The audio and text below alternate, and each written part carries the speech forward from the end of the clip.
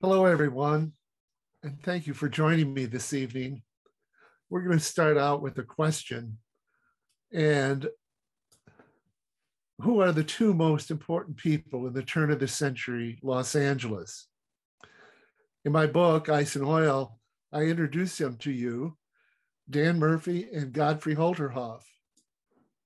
They actually were equal to today's billionaires of Tim Cook and Apple, or Elon Musk of Tesla. And few people have ever heard of Murphy or Holterhoff. So, in the next 45 minutes, I hope to inform you of this unknown and important part of Los Angeles history. Many people ask me why or how I got interested in this subject. I wrote the book about an obscure character like Dan Murphy. And my interest began in 2002 when Our Lady of the Angels Cathedral in downtown Los Angeles opened. The donor wall mystified me as to who Dan Murphy was. When I inquired, the historians hardly knew anything. I was very intrigued. It turned out that the Dan Murphy Foundation was the primary donor for this $250 million building.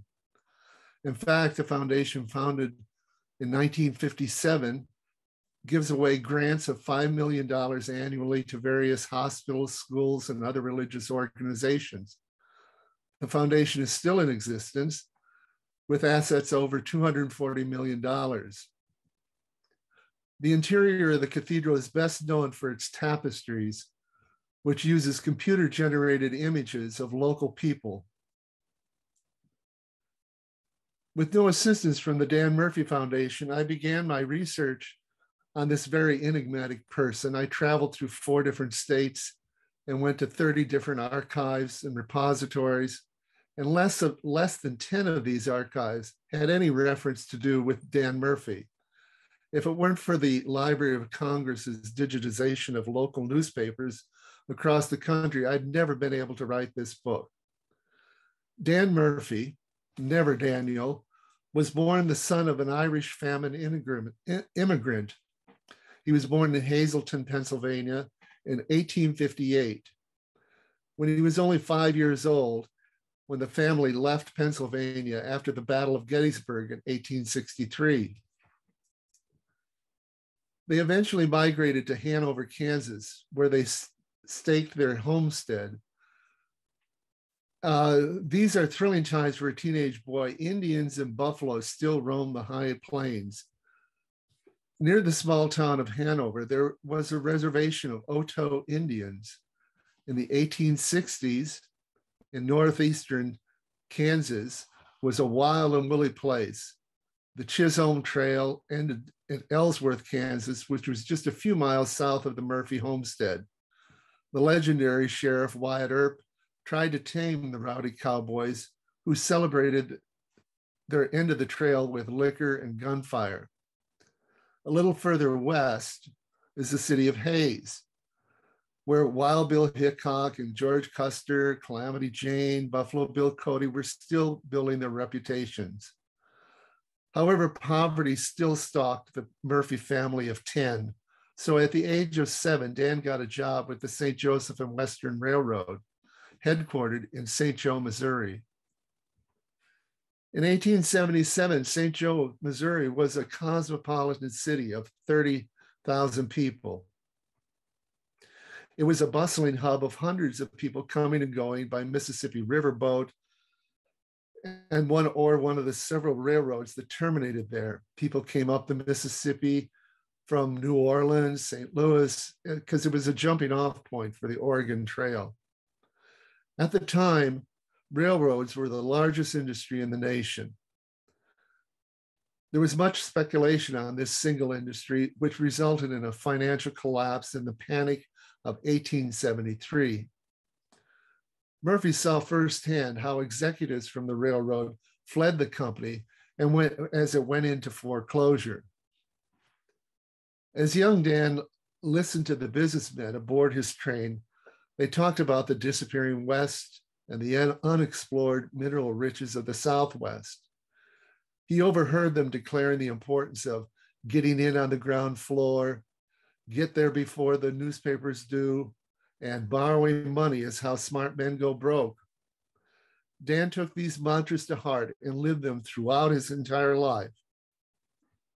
So now I'd like to ask you to set aside your ideas regarding the development of the West and see it from Murphy's point of view. The Golden Spike was driven in 1868 when the Central Pacific and the Union Pacific Railroad created the first transcontinental line. The Central Pacific was owned by the Big Four, who called themselves the Associates Collis Huntington, Mark Hopkins, Leland Stanford, and Charles Crocker. They had made their money through the gold rush of uh, 49 and invested their money in the Transcontinental Railroad. The route ran across the Sierras, but it was unprofitable because it was closed due to snow for five months out of the year. Huntington believed they needed an all season railroad route.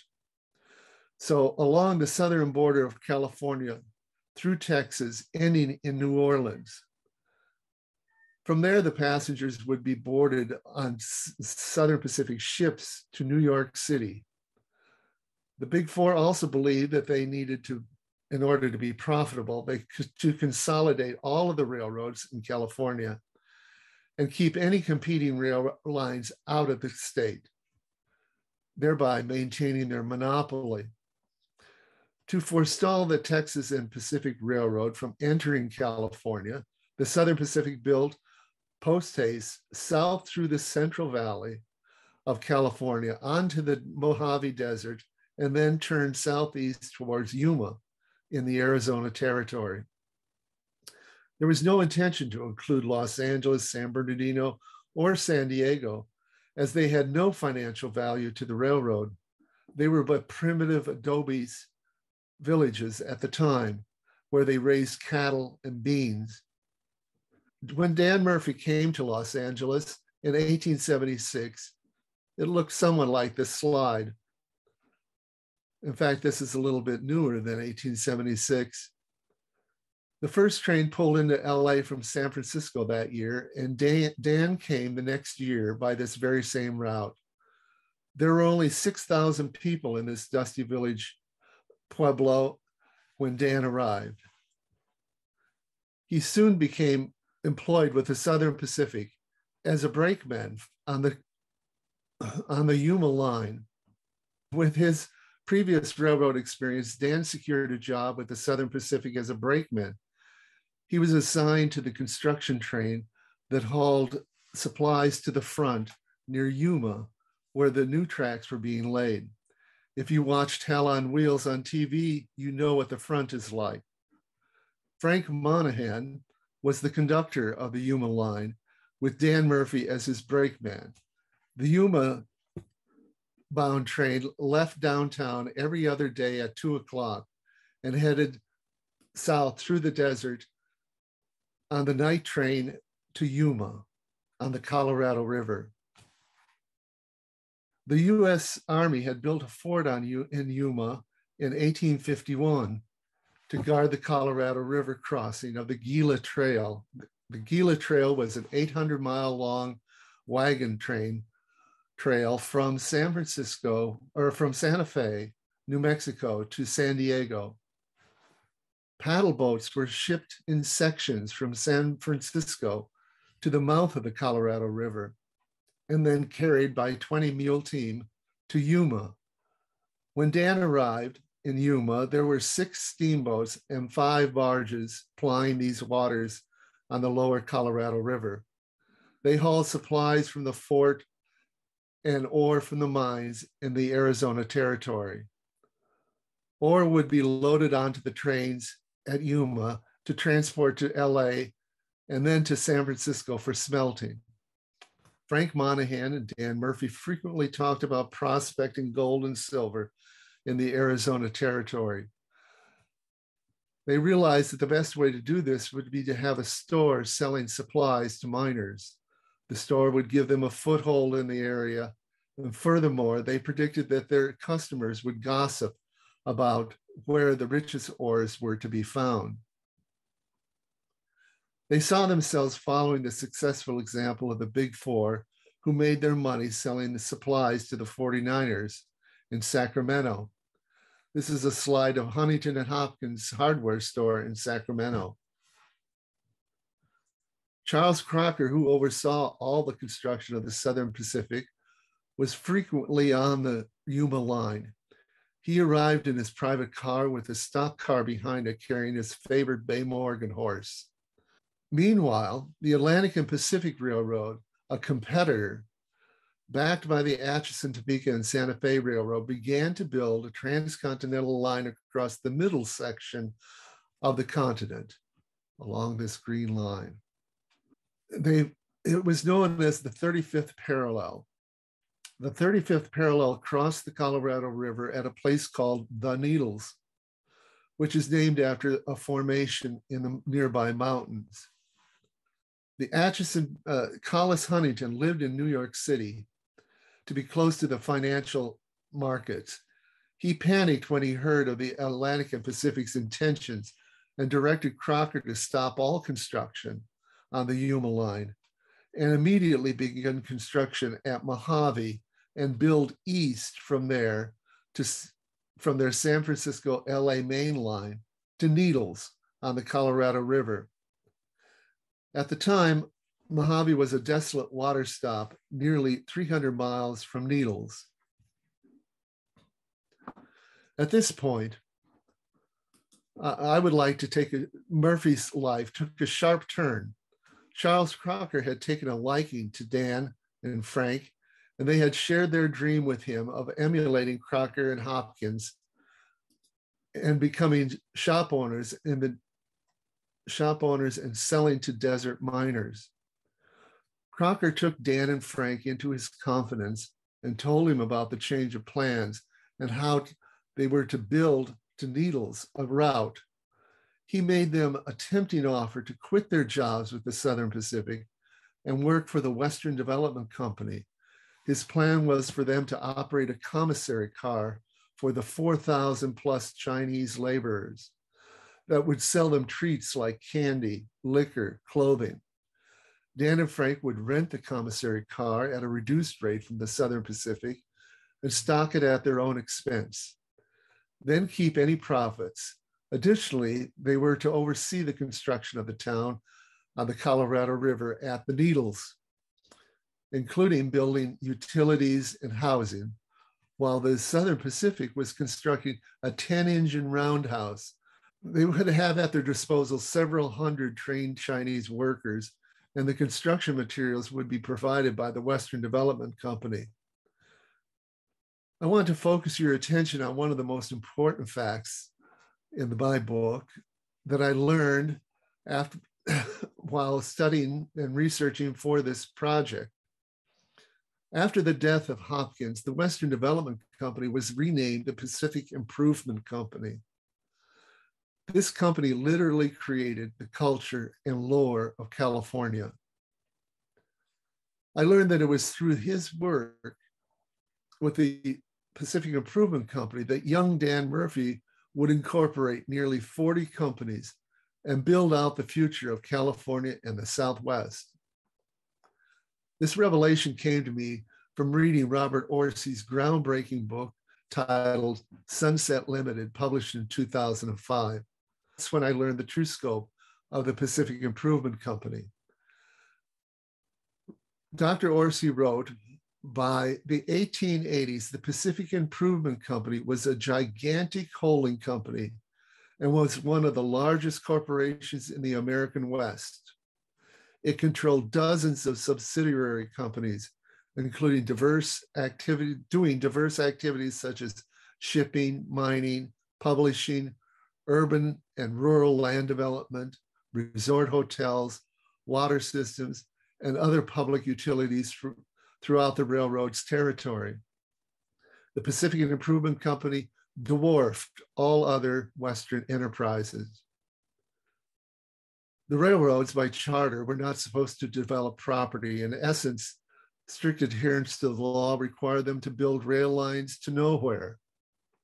Without towns, water, and agricultural resources, the territory served by the rail lines would be a virtual wasteland. Therefore, using the holding companies of the Pacific Improvement Company, the railroad is able to sell land grant property and at the same time develop the area.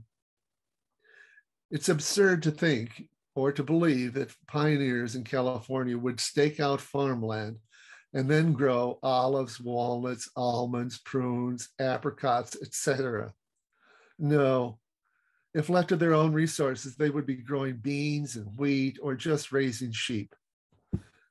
Instead, when the population followed the new rail lines into California's rich agricultural land, the railroads sold the land along the railroads and specified what crops they should grow. Crops such as walnuts, almonds, raisins, prunes, and other certain fruits were not only valuable by weight, but also resistance to spoilage. The Pacific Improvement Company would also educate the farmers as to the best cultivation methods and how to successfully grow these exotic crops. And the railroad would provide transportation of their harvest to the eagerly awaiting markets. The Pacific Improvement Company undertook the development of high class resorts and hotels. In addition to their farming activities, the our Hotel Del Monte in Monterey was one such hotel. Castle Crag north of Redding and the Arcadia Hotel in Santa Monica, to name a few. All of these developments were an effort to improve the profitability and wealth of the railroad and the entire region. Once again, I need to emphasize that all the above came to fruition as the Pacific Improvement Company created advertisements and promotional materials that literally invented the mystique we know of as California today. For example, the Southern Pacific adapted in the images of a romanticized mission era. Similarly, the Santa Fe adopted the Southwest Pueblo and Zuni style for its promotional materials. And here's some examples. Shortly after the Atlantic and Pacific reached Needles, Huntington found himself in a tight financial situation and sold the newly created Mojave line to the Santa Fe. At this point, Dan and Frank just transferred over from the Southern Pacific to the Santa Fe's Pacific Land Improvement Company. Each railroad had their own improvement company. Their new boss was Godfrey Holterhoff, who was in charge of the Western Division of the Atchison, Topeka, and the Santa Fe. Here are pictures of the original depot in Needles.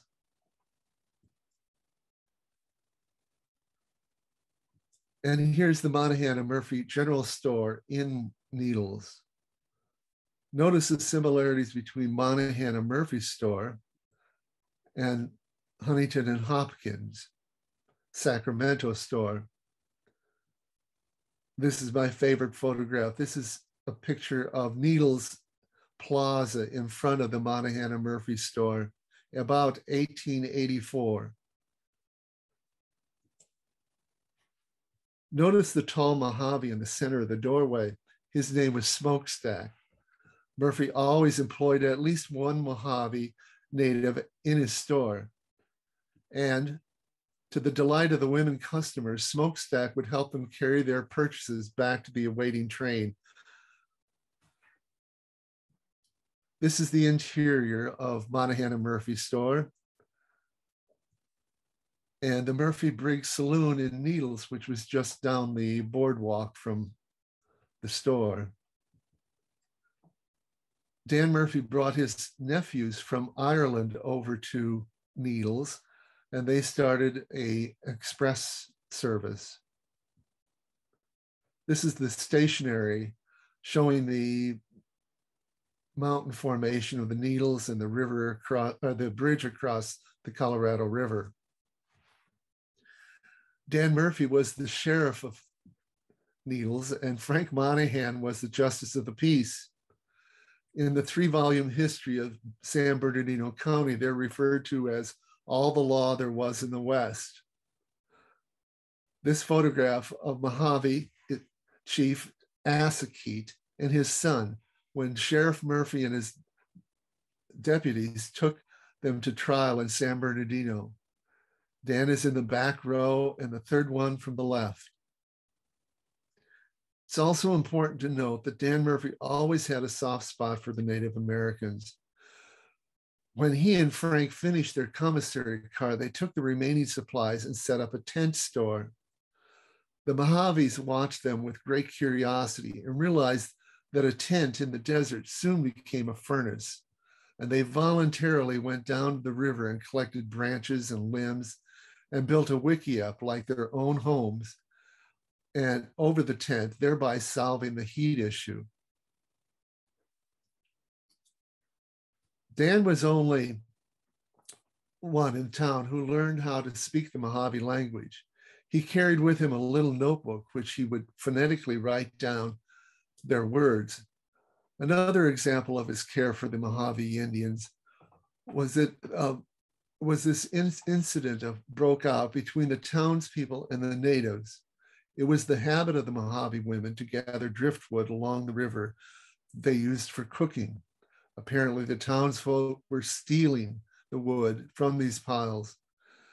Dan solved the problem by building a wood lot next to his store so that the townspeople could pay for the firewood when they bought their groceries. Dan then gave the cash to the women, thereby giving the Mojave women a reliable and continuous source of income. Later, Dan noticed that the women struggled to get the wood up the muddy banks to the, to the store. So he went to the roundhouse and got a spare rails and ties and wheels. And the Mojave men laid the track from the river to the store. They put a push cart on the rails and easily transported the wood up to the store.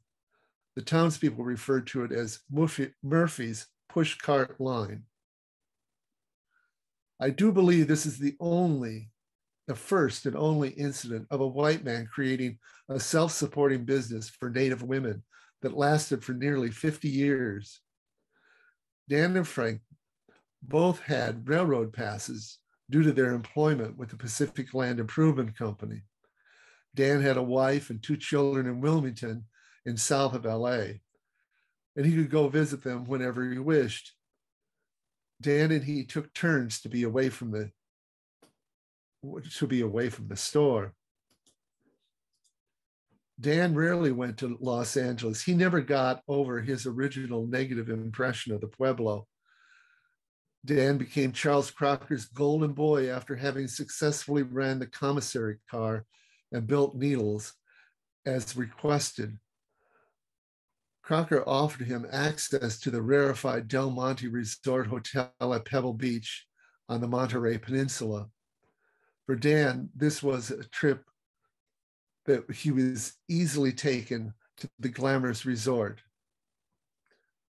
Another example of Dan's avoidance of Los Angeles was he chose to restock his store directly from suppliers on the East. This gave him an excuse to annually, if not more often, travel to Chicago and New York City. Train travel in the 1880s and 90s was a slow and arduous trip. It took more than a week. Dan's real education came from the smoking cars on these transcontinental trips, where he met numerous successful and well to do businessmen from across the country. With his free pass and his love of train travel, Dan took full advantage of the unique, this unique opportunity. I can't prove it, but I believe Dan Murphy was the first bi-coastal businessman. The local newspapers would chide him by printing that Dan Murphy was off to see Vanderbilt, which may be entirely true, as we will see from his later investments. The Murphy and Monahan General Store was very successful As word spread, miners and prospectors from all over the Southwest came to Needles for restocking. Murphy added a machine shop to repair mining equipment, which greatly increased their business. The Los Angeles newspapers claimed that Monahan and Murphy store is known far and wide, and they are a household name throughout Arizona, New Mexico, and as far as San Antonio. By the 1890s, Dan and Frank were bringing in over $3 million annually in today's dollars. Gold and silver ore samples here showing nuggets found near Fairplay, Colorado. Dan and Frank realized that their early desires to go prospecting in Arizona territory. And in 1886, Dan, following the lead from the bartender in Kingman, Arizona, that he had discovered a rich vein of gold. Dan and the bartender and a wealthy financier from Denver staked their claim to an extremely successful mine named the Josephine. Charles Crocker was proud of his golden boy, and as a celebration of his windfall, he offered Dan an opportunity to stay at his private club in New York City. I am lucky to have found this letter at the Huntington Library that Dan wrote to Mr. Leroy and posted it from the club. Mr. Leroy was one of the richest men in New York City. He was founder of the Academy of Music, later replaced by the Metropolitan Opera. If you've been watching The Gilded Age on HBO, the club is the one they're always talking about.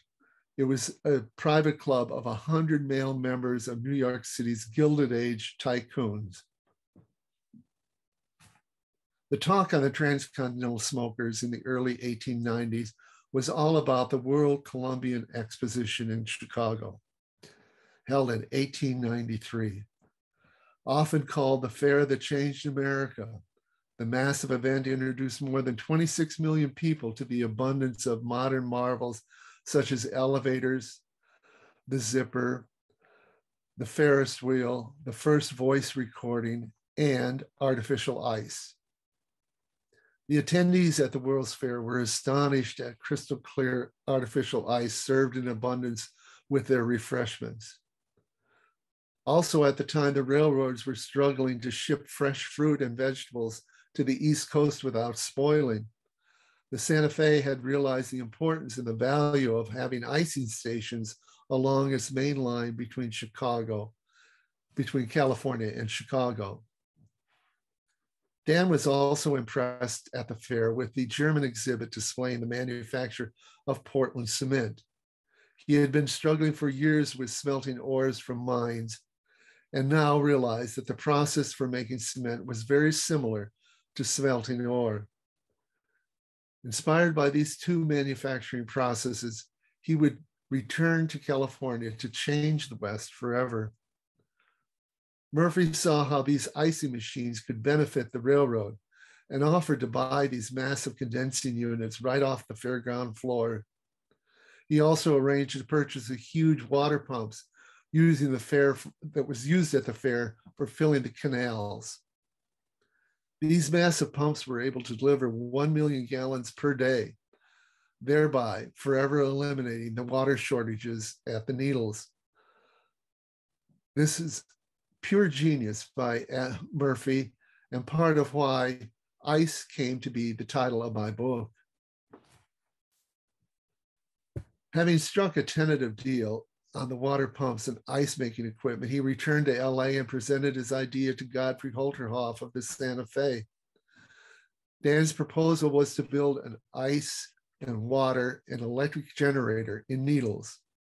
Electric power would allow the roundhouse to operate 24 7. Additional, additionally, electric lighting on the railroad station and its platforms would create quite a sight for the passengers, as not even Los Angeles had electric lighting at the time. The icing station would be a boon for the Santa Fe, enabling it to ice all refrigerated, all the refrigerated train cars going east and they at a considerable profit.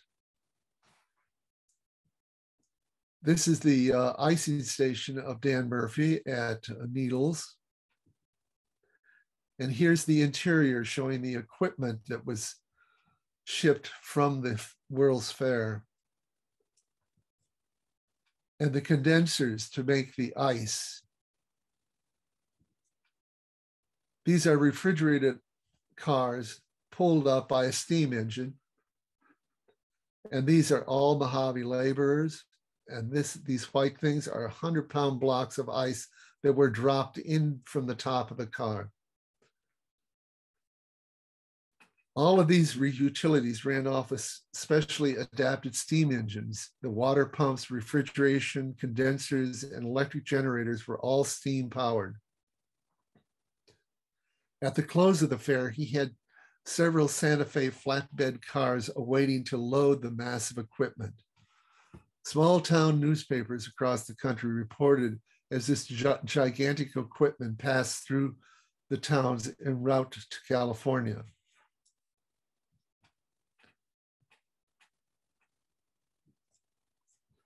After the Santa Fe purchased the Mojave Line, they also helped build a railroad from San Diego to San Bernardino, giving these previously bypassed cities access to a rail line.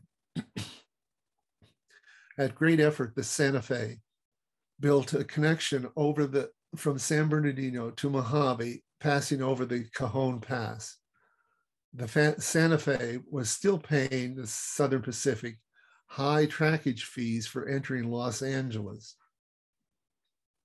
Holterhoff purchased and combined several small railroads that ran through the San Gabriel Valley in order to create a route from San Bernardino into downtown Los Angeles.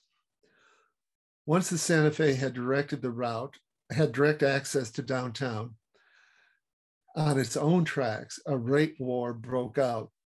This well known rate war between the Southern Pacific and the Santa Fe drove ticket prices from Chicago to LA down to $1 and directly led to the boom of the 80s this put Holterhoff and Murphy at a pivotal junction in, Los Angeles, becoming a world class city. Contrary to popular history, Edward Doheny did not, was not the first one to discover oil in LA. He did hand dig a well near downtown Los Angeles, by the 1890s, there were over 400 wildcatters around downtown and Echo Park drilling for oil. They had nowhere, no way to store the oil. They dug pits and it leaked out onto the ground and onto the streets, creating a huge stench and an environmental disaster. The city council was hard on upon the oil drillers to correct the problem, but Edward Doheny fought, fought back Meanwhile, the Santa Fe began experimenting with oil in their locomotives. Doheny contracted with the Santa Fe to provide 20,000 barrels per month. Doheny bought up all the oil from the wildcatters and tried to corner the market price. He was unable to supply that much oil. And much to the chagrin of Godfrey Holterhoff and the Santa Fe, they began converting their locomotives back to coal. Holterhoff called upon his old friend Dan Murphy to help him out of this embarrassing situation. But Murphy wasn't interested in a competitive market. It's unlike him to enter into a business fraught with price cutting and at odds with the citizens of Los Angeles. However, to help out his friend, he quietly went south near Fullerton and bought land that had oil seeps, not like that you see at La Brea tar pits. Dan then created the Brea Canyon Oil Company with Doheny and several Pacific Land Improvement Company executives as board members. Doheny only had to point to where they should drill, and on December the, of 1888, excuse me, 1899, the Brea Canyon Company let go of the largest gusher in the LA basin if the gusher flowed unassisted for many years, being one of the most productive wells in all of California. All the oil from Brea Canyon was initially to go to the Santa Fe, but it was more than they could use. Holterhoff released Doheny from his contract, and within months, he, Doheny left California for New Mexico or for Mexico, where he made his fortune. The excess oil was pro- piped by the Brea Oil Canyon to the ocean, where it was shipped to Standard Oil Refinery in Richmond, in, in the Bay Area. Dan had a sister that lived in Leadville, Colorado. One of the leading miners in Leadville was John Sinnott, who had five daughters. Dan's sister Mary was always trying to get him to marry one of these women. They lived most of the year with their mother in San Jose, while John remained tending the mines in Leadville. After 17 years of absence in Leadville, he came home to San Jose ill and died one month later. As word hit Leadville, his business partners ran off with all the assets, leaving the Sinnott women destitute. With his newfound wealth, Dan decided he needed a wife. And four months later, he followed his sister's advice and married one of the Sinnott daughters, Antoinette. There were only two witnesses at their marriage. It took place in St. Joseph's Church in San Jose after the 10 o'clock Mass. She wore a gray serge suit, and he was dressed in his usual three piece suit.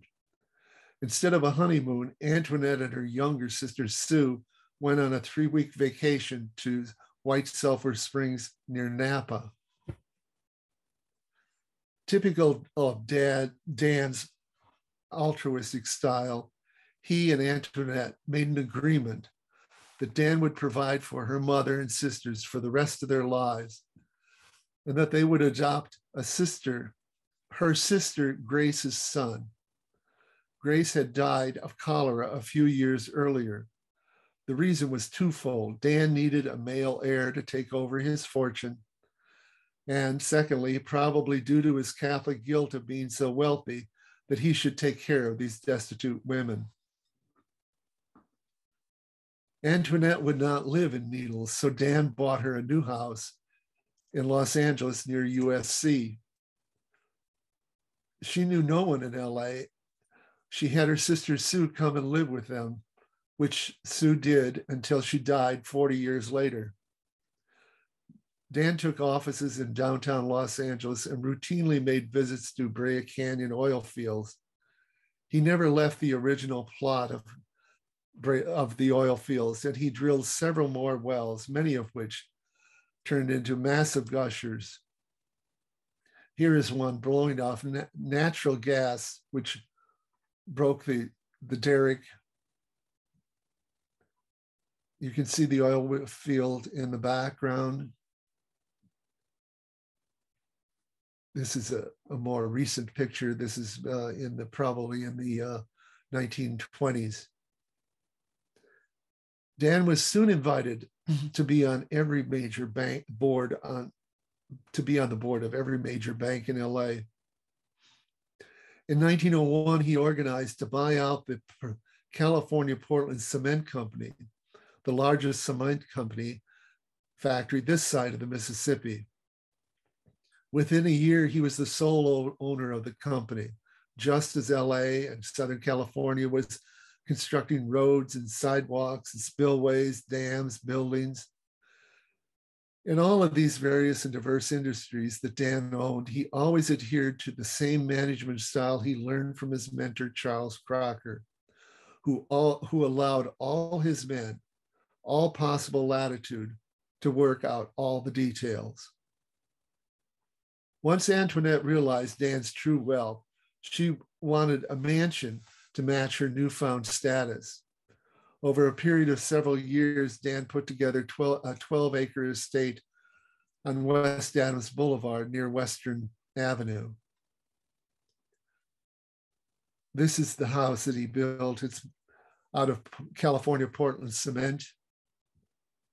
This is the back of the house with Antoinette's gardens that when it was first new.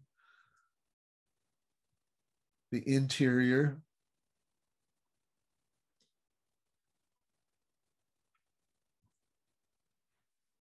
However, before they moved into this new home, Sue announced that she was pregnant. In a panic, they went to the Bishop of Los Angeles, who arranged for Sue to go to an orphanage in White Plains, New York, where she delivered her baby. She left her baby girl there for four years until Dan and Antoinette returned and adopted her at the orphanage, thus avoiding any scandal for Sue or the Murphy family. They named the little girl Bernadine. She apparently had an Sue apparently had an affair with Prince Ruspoli, an Italian royal who was visiting the Bay Area in 1903. It's an intriguing story in the book. Beginning in 1901, Dan, Antoinette, and Sue went to Europe every other year until 1918, when the influenza epidemic prevented them from traveling. The first two trips were spent collecting furniture, antiques, and especially garden ornaments for Antoinette's world class garden. On every trip, they went to the Vatican and they had a private audience with the Pope, at which time Dan would hand him a check for a million dollars for the Pope's personal charities. When Bernadine became of age, she and Sue would go for extended periods of time to Rome where they entertained where they were entertained by the Ruspoli family and Rome's high society.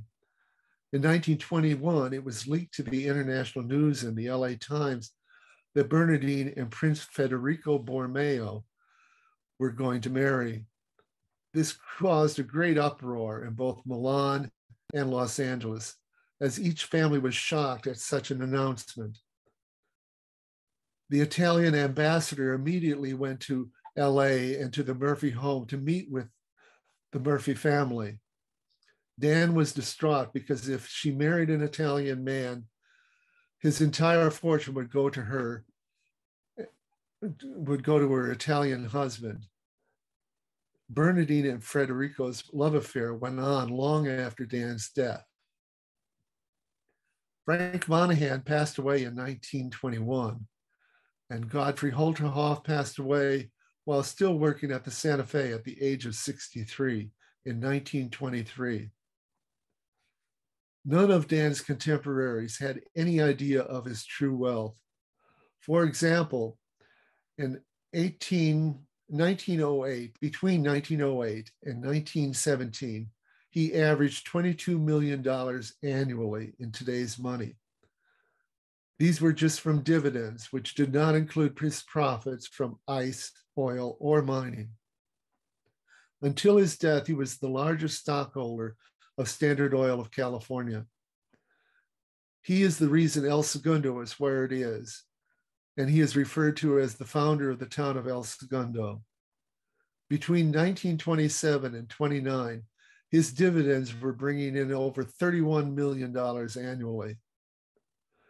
During the First World War, Dan was made executive vice president of the Los Angeles Shipbuilding and Dry Dock Company, which was commissioned by the federal government, government to build supply ships for the war effort.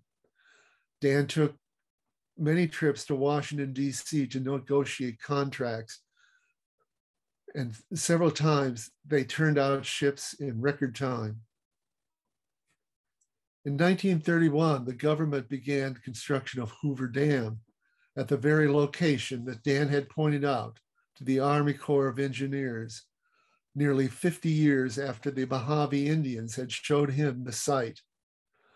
Of course, California Portland Cement was one of the suppliers for the dam's construction. In 1931, Dan was awarded an honorary degree from Loyola University and at that time, he was also given the honorary title of Papal Knight. Antoinette's Grand Italian Gardens won numerous awards and surpassed the Huntington Gardens for many years. She died at home in 1939, and so did Dan. The following year in 1930, she died in 38 and Dan died the following year in 39 at the age of 81. Bernadine lived on in the house until she married Daniel Donohue in 1956. They donate, donated the West Adams mansion to the Archdiocese, who had the magnificent horn, home torn down and scraped clean to the lot. Today, the Archdiocese is still pumping oil there and fracking. It's called the Murphy Drill Site. In 1960, Bernadine was awarded the title of Papal Countess, an honor she shared with Estelle Doheny and Rose Kennedy, JFK's mother. In 1957, Bernadine and Daniel formed the Dan Murphy Foundation in order to charitably disperse Dan's vast fortune. It continues to this day, 80 years since his death, annually granting $5 million in donations, and of course, the million dollars to the Pope every year. Bernadine and Daniel moved to Waverly Drive in Los Feliz until Bernadine's death in 1969. They had helicoptered Antoinette's rare trees from West Adams to Los Feliz. Quite a sight for Los Angeles citizens. When Bernadine died, her husband donated the Waverly House to the Sisters of the Immaculate Heart for a convent. In 2010, you may recall the controversy between the Archdiocese and the sisters over the ownership of Waverly, Waverly Drive. One of the nuns dropped dead in court during the trial. The Archdiocese won and sold it to Katy Perry. so there you have it. Dan Murphy and his friend Godfrey Holterhoff had more to do with the current day LA than any two men that I can think of.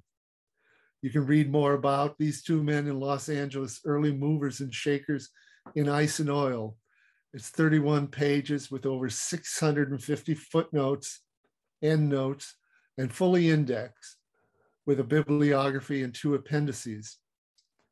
I'm proud to say it won the Best Book Award finalist it's a fascinating story and thoroughly researched. Reviews say it's an exciting read, and the, the Los Angeles Westerners review quoted as highly recommended and entertaining and educational biography. So, thank you.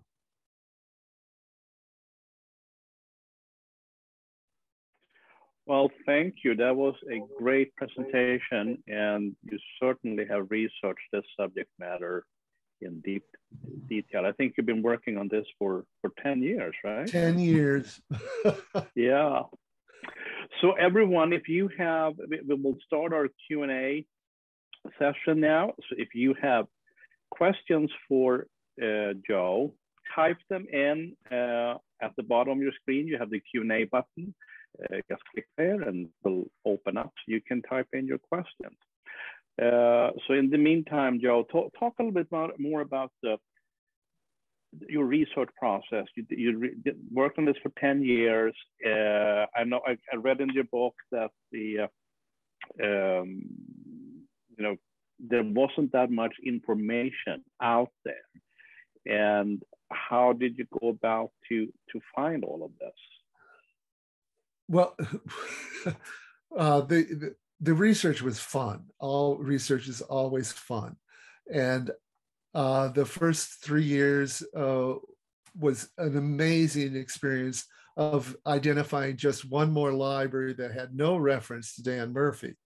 Dan Murphy never wanted his name in the paper. He never allowed interviews. He never allowed pictures. All of these mug books that, that, that you see back here that are of Los Angeles businessmen. He's not in any of them. Uh, he was a very modest person. And uh, the, it was the, uh, the writing of the book and that uh, took the longest time and several revisions and four different uh, editors. it was fun. So we're starting to get some uh, questions in here. So uh, Joe, I'm going to remind you too that if you click on the Q&A button, uh, you yes. will see the list of questions and, and I'll read them to you. So the first one is, uh, did Bernadine have any children? No, no, she didn't. Uh, the she had wanted to. She fell in love with Federico Borromeo.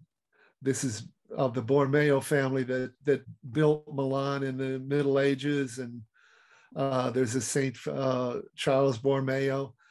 Uh, but for some reason, uh, they never married, and they conversed uh, by letter uh, for m- nearly 30 years until she married Daniel Donohue. But no, she never had any children. Um, next question uh, Was there any relation to the Brothers of St. John of God? Absolutely. Uh, St. John of God is on uh, the uh, uh, the north what the uh, northwest corner of Adams Boulevard and Western. It's a retirement home. It's run by the Brothers of St. John of God, which was directly across the street from the Murphy house. And Bernadine, being a spinster, would spend a lot of time visiting the sick and the elderly over at St. John of God. But when it became apparent that she would lose her fortune if she married the love of her life, she married a defrocked brother of St. John of God, Daniel Donohue. And they then uh, donated the house in West Adams to the Archdiocese and moved to Waverly Drive. So there is a connection. Did it seem that Antoinette and Dan genuinely loved each other or one another, or was their marriage just one of convenience? Well, that's why uh, we'll never know. You never know about these sort of things. Uh, he was definitely uh, devoted to her, and that's why I described how they got married. And you know, it was a, a marriage of arrangement. Uh, he definitely uh, loved and worshipped Bernardine. He did everything he possibly could. But I'm sure uh, Bernardine broke his heart when uh, she fell in love with Federico Borromeo. And this uh, wedding that was announced in the from Rome in the international news and the LA Times uh, was a, a real uh, scandal. Uh, everybody in LA knew uh, who she was and that she was very wealthy, uh, and they thought that uh, they would she would become a princess, but that never happened. So I I really don't know the the answer to that, but I think it was a, a marriage of arrangement. Uh, are you familiar with Leslie Brand and his involvement in development, developing uh, a railroad from LA, San Pedro to Glendale? Did he work with Dan Murphy? Uh, that's a very complicated subject. Uh, and it took me a long time to learn railroad history and to get up on the platform of railroad history. But the combination of these little lines through San Gabriel uh, by uh, Godfrey Holterhoff, uh, is a very complex situation. And so, no, to, to be truthful, I'm no expert on that that complex history. How come so little is known of Dan Murphy? Really? Well, that's due to Dan Murphy's own choice. He didn't want anyone to know about him, and nobody did. And they didn't even during his own lifetime have any idea of how much money he had. Uh, he, he was just a master of uh, disguise, you might say. Uh, but uh, he avoided Los Angeles. He didn't come to the city until he was dragged into the city by uh, Holterhoff to solve this problem of oil. Um, he was uh, he was an acquaintance of uh, Dan uh, of uh, Doheny, because Doheny, you know, was a, a hard rock miner out in New Mexico. He and Canfield, and uh, they knew each other through, no doubt, through the store of Monahan and Murphy and Needles, because it was the only game in town in the Southwest. And uh, he came to town and by that time, he was already a wealthy man. The oil just pushed it over the mm. top. And he always, from the World's Fair time, when he saw that uh, German exhibit at the World's Fair making how they made Portland cement, and for many years, he had struggled with smelting ore out in needles because he believed that that would make the whole territory wealthy again because uh, the miners couldn't uh, have an outlet for for this ore. Well, a long story short, uh, he knew uh, that uh, uh, Portland cement was a lot like mining, but instead of having to dig down into the ground, if you remember along the 10 freeway at Colton, there used to be a big white mountain, which was pure limestone. And that's California Portland Cement. It's now gone and that's closed. And they just recently, the Dan Murphy Foundation, only in the last uh, five or ten, five years maybe, sold Portland Cement. Did Bernadine know that the West Adams house was going to be raised when she donated it to the church. Oh yes. shame. Oh yes. Uh, she was living alone in the house uh, with, with, her sister Sue. Uh, outlived uh, her parents, uh, outlived Dan and Nettie, and uh, then Bernadine took care of Sue until she died, and then Sue's older sister uh, Catherine came and lived with her, and she was in her late 70s, early 80s. Bernadine had to take care of her until she died. and once she died, she was living alone with servants, of course.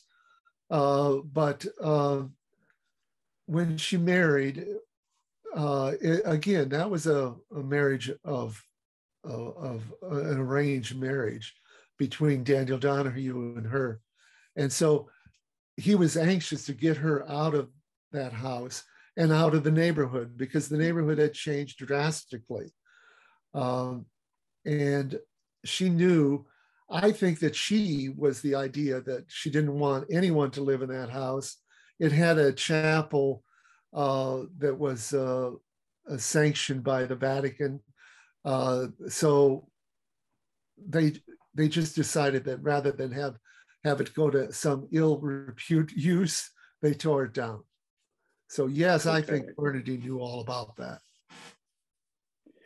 And here is another question. The Dan's sister got pregnant with Bernadine uh, as a result of an illicit affair. Was this considered scandalous at the time? it would ruin you. In Victorian times, at the turn of the century, if you had an illegal pregnancy, you you not only you, but your family mm. would have a very bad reputation. It would ruin your reputation, and it. and Sue was Antoinette's sister, not Dan's sister. Uh, so uh, they, it was an, an exotic plan, and it didn't end with just taking them to the orphanage. The Dan Murphy had to pay his dues. He was uh, he was uh, donated uh, uh ten acres to uh, for a Magdalen laundry. If you've read books about Magdalen laundries, that was in West Adams also, uh, and it was part of his reparation for the good deed that the uh, bishop done, had done by by secreting the real birth of Bernadine. It, it was never became known. In fact, when the book was published, I got a little feedback from Schertell relatives that were shocked to learn this. Uh, after Dan purchased California Portland Cement Company, did he maintain a relationship with previous owners, the Fleming family? Oh, no. yes. Uh, that's a very intelligent question. Fleming was uh, was in he was an owner of California Portland Cement before Dan Murphy bought it, and he kept uh, Dan Murphy kept Fleming there, and Fleming ran the plant Uh, just like uh, uh, I said that he used Crocker's style of management to let Fleming make all the decisions uh, uh, all of the time to for the best results. And then after Fleming came Dookie, and yes, he was friends with the family. Well, he owned the company. And so all of these people that were uh, presidents of uh, California Portland Cement were also friends of Dan Murphy. What difference is it between Doheny and Murphy regarding oil digging? Doheny dug the first hand, hand dug the first well. That's because he didn't have any money and he couldn't afford any drilling equipment. The Wildcatters and soon Doheny also started drilling using a derrick and a drill, and these were run by steam engines. So you can imagine the cacophony of noise and stink from oil that was going on in California uh, or in uh, downtown LA by the time as time passed, you know, this developed very quickly. Within a year or two, Dan Murphy, when he went down to uh, Brea Canyon, as you saw from those pictures, they were already using de- uh, derricks, and so Dan Murphy's, all of Dan Murphy's wells were were uh, uh drilled by a more conventional method. I think I hope that answers your question.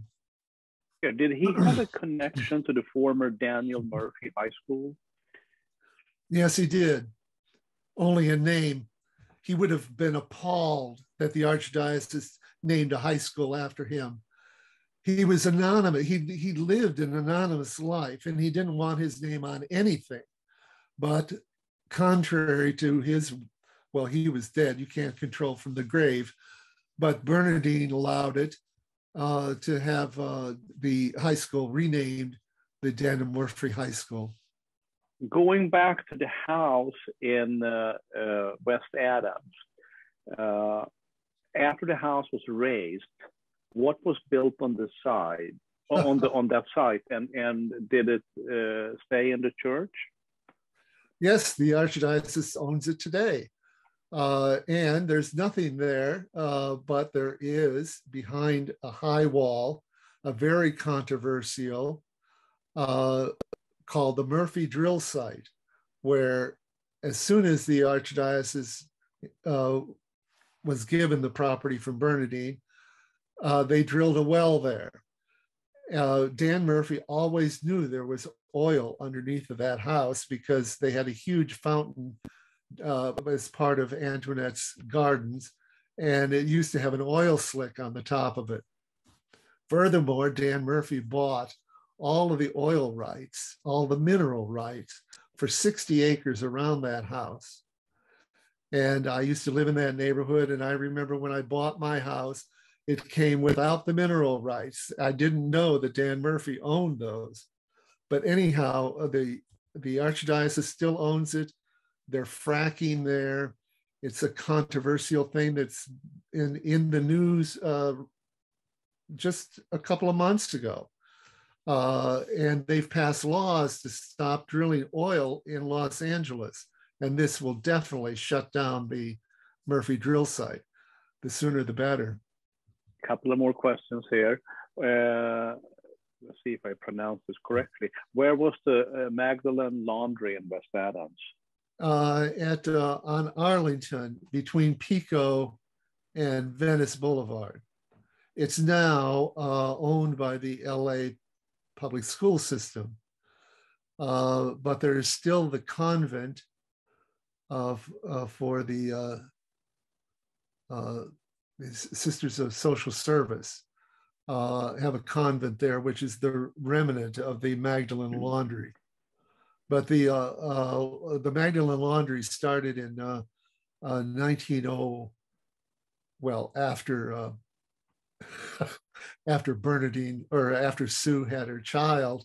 Uh, so uh, about 1904 until uh, into the uh, late 50s or early 60s before it was it was a huge facility but uh, it's no longer there So maybe this is the last question. is the uh, um, Monaghan and Murphy store building still standing? And are there store records archived somewhere, like the Huntington Library?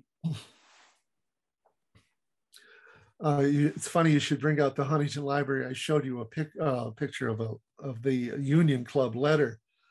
Uh, that was the only scrap of paper at the Huntington that had Dan Murphy's name on it. That has since changed since I've written the book, and the Dan Murphy Foundation has given records to the Huntington Library, uh, business records from the from the Dan Murphy companies that he owned. But uh, regarding Monaghan and Murphy store, no, that burned down. Uh, it was rebuilt, and so the uh, the it's now the uh, Needles Museum, and the records from Dan Murphy I did find uh, at um, uh, Cal State San Bernardino, of all places. Uh, they they had the ledger books and so forth from uh, the, the, from Dan Murphy's uh, store. I can't say it was extensive though, but uh, they had they do have some records. All right. So I'm just going to reach out to Todd here, uh, since you are one of the panelists, you can actually not type in the question. So Todd, do, do you happen to have a question that you want, want to ask? If you do, please jump in. Um, well, I think my questions were pretty much covered by other people's questions. Uh, I'll note that you got some compliments in the chat section, uh, Joe, and a comment that someone has already purchased your book. I, I suspect there'll be some more book sales in the next day or two. And I, I do see a so. question there, but I noted that it was repeated in the question section, so I won't bother to read that. I think right, we've covered right. all our questions. Uh, there's a couple of more comments here that, that just came in. One is just saying, uh, thank you, Joe. Um, another one is saying, I hope Our Lady sells this amazing book in their gift, uh, gift shop. what what gift shop? Oh, as I or I would assume Our Lady. I, I would assume that the cathedral in downtown. Oh no! Oh no! No. Oh, no! The Dan Murphy Foundation is not in support of this book. Uh, I thought when I started doing the research that oh they've got 240 million dollars. This is a pushover. I'll just go and you know present them the proposal to write a biography on Dan Murphy, their founder, since nobody knows anything. And to my surprise, they said, no, we would like to honor Dan's uh, thoughts of being anonymous and we would not support the book. And uh, no, they wouldn't sell the book uh, because uh, they're fracking. Follow up question here, but you, you actually answered that. Why is the foundation not thrilled with the new book? And, so, and remember also that that that that, that uh, Bernardine and Daniel's house on Waverly Drive was donated to those sisters the Sacred, the Sisters of the Sacred Heart, the Immaculate Conception. I forget them always confused, but anyhow, it was donated to them. And the uh, archdiocese took those poor nuns to court in order to uh, get that property back in their hands. Well, thank you so much, Joe. This was uh, great and really appreciate that you reached out to us and, and that we can do this. Uh, do you have any final comments before we uh, end for tonight? No, I'm really honored to, to have been able to do this for the uh, Los Angeles City Historical Society. I was on the board for several years with uh, Irene Tresun and and uh, David Cameron and Danny Munoz and many others that are no longer with us. So it's uh, it's a great honor, and I uh, I, I uh, am very proud of the Historical Society. You've improved a whole lot since I was on the board. So thank you.